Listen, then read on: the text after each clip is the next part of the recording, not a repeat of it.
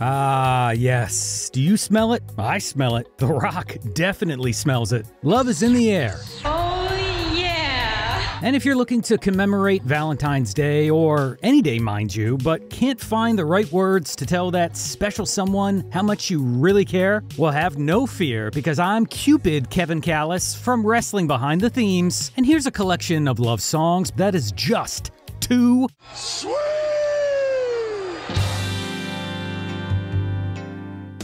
Prior to making his WWF debut back in 1993, J-E-F-F, J-A-R-R-E-T-T showed up on everybody's boob tube in pre-produced vignettes shot in Music City, USA, Nashville, Tennessee, portraying an up-and-coming country singer and dressed in some of the most over-the-top ring get-ups of all time. The last outlaw spent his days working hard on the go, gunning for the Intercontinental title, as well as promoting his album Ain't I Great. And this catchy little ditty, With My Baby Tonight, written and produced by who else but Jim Johnston, was a musical love note for the wife of this Double J. Not this Double J, because this Double J didn't even sing the song. This Double J did. Got that?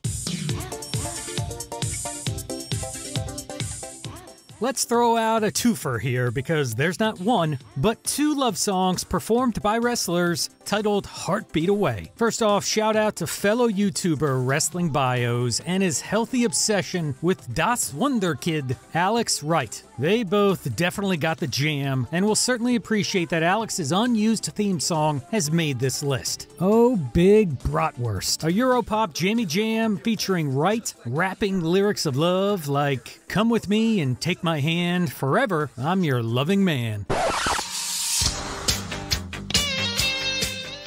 Since the PS in Michael P.S. Hayes stands for purely sexy, the fabulous Freebird himself certainly knows a thing or Nope, nope, nope. about love. This tune is one of the most heartfelt and sincere songs sung by a sports entertainer. Sorry, I lied. It's just Michael lusting after some girl, of course. I just hope she was careful and had protection because God knows what you might pick up down on Bad Street, USA. Kudos to the Mouth of the South, Jimmy Hart, and Bruce Prichard for getting sensational Sherri into the recording studio to do this song because it's so bad that it's actually good. Now, for those of you who aren't familiar with the Hall of Fame career of Sherri Martel, you surely recognize her unmistakable, nicotine laden voice. But Martel brought so much more to the table. She was skilled and accomplished inside the squared circle and a force to be reckoned with when managing outside of it. And even though it isn't the version that gets played for HBK anymore, Sherri's stirring rendition of Shawn Michaels' entrance theme, Sexy Boy, helped strap a rocket to the Heartbreak Kid's back and catapulted him into the stratosphere. I just want you. Trish Stratus is regarded by the WWE Universe as the quintessential diva. Gorgeous, talented, and super sexy. Yeah, baby. The Canadian beauty was easy on the eyes and extra hard on her opponents. Nowadays, she spends time being a mom and posting some redonkulous videos on social media. But back in the day, she also enjoyed singing. I Just Want You was a track on WWE Originals, an album released back in 2003 consisting of original songs by superstars and divas whom you wouldn't expect to sing, like Trish, Kurt Angle, and Stone Cold Steve Austin. Channeling her inner Britney Spears, it's apparent that Trish put 100% Stratusfaction into this seductive track.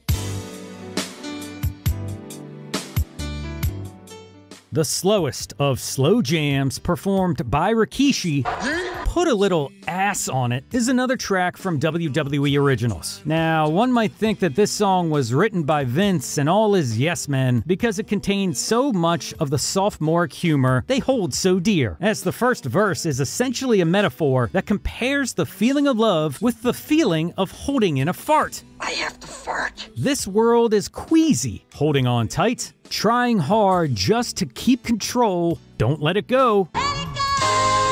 R. Kelly's bump and grind, it isn't.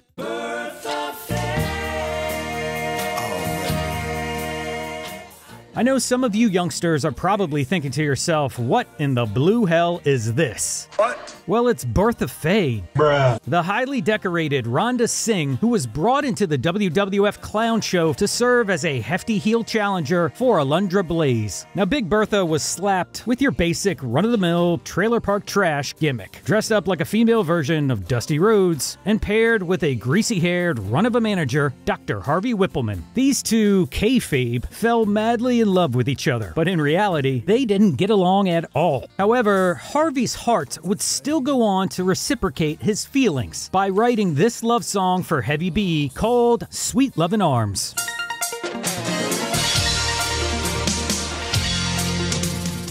WrestleMania the album was shockingly produced by everyone's favorite a hole reality show judge, Simon Cowell. But I'm not quite sure how the Baron of Bitterness saw fit to include Bret Hart's sappy spoken word ballad, Never Been a Right Time to Say Goodbye, in the final cut. Now, we all know Bret is good at a lot of things, whether he wants to or not, but the Hitman is the shitman when it comes to music.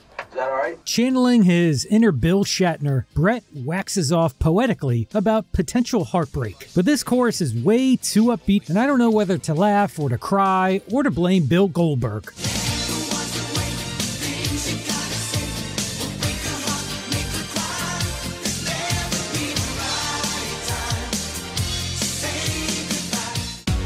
When I met you, girl, it was love at first sight. Your hair looks so good. Matt Cardona is currently on the greatest run of his career, no longer bound to a contract and a company that seemingly punished him for his creativity. Cardona is always ready and willing to do the work to achieve success. However, back during his WWE days and going by the name of Zack Ryder, the Long Island IC dreamt of being a pop star broski, which actually came true by becoming the first WWE superstar to crack the iTunes Pop 100 with his smash hit Hoeski. With such deep and thought provoking lyrics like, I thought we'd be soulmates, like and and roses are red and violets are blue, you may have left me, but I still woo, woo. How can you not love this bop, bro? Now, you might not consider someone who's as middle aged and crazy as Terry Funk to deep down be such a softie. But the truth is, behind that rough and tough exterior, he's just a tender, caring maniac. From his album, titled Great Texan, comes his passionate tune, Roppongi. Accompanied by a smooth saxophone, the Funker bears his soul with a soft southern drawl as he chronicles the experience of being a wrestler in Japan, getting drunk every night on hot sake, and spending some quality time in the exotic nightclubs of Roppongi. And that's it for our list. Have any other love songs we might have missed? Then let us know what they are in the comment section right down below. And don't forget to like, share, and click on that subscribe button while you're at it. Thank you as always for watching our videos. I've been Kevin from Wrestling Behind the Themes, and I really hope this helps you get laid.